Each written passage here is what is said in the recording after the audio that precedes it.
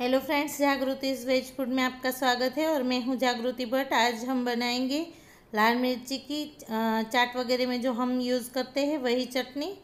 और तो यहाँ पे सूखी लाल मिर्च को भिगो के रखा। यहाँ पे लहसुन की कलियाँ ली है हमने नींबू नमक और जीरा पाउडर। तो आइए फ्रेंड्स, बनाना शुरू करते हैं। यहाँ पे लाल मिर्ची जो हमने भिगो के रखी थी, उसको हम मिक्सर जार में डाल देंगे। आ, उसका पानी हम फेंकेंगे नहीं उस ज़रूरत के हिसाब से इसमें हम पानी मिलाएँगे। तो अभी हम ये सारे इंग्रेडिएंट्स मिला के इसे हम क्रश कर लेंगे। तो देखो ये क्रश कर लिया अभी थोड़ा सा पानी मिला के और क्रश करेंगे। तो देखो ये क्रश करके हमने बाउल में भर लिया।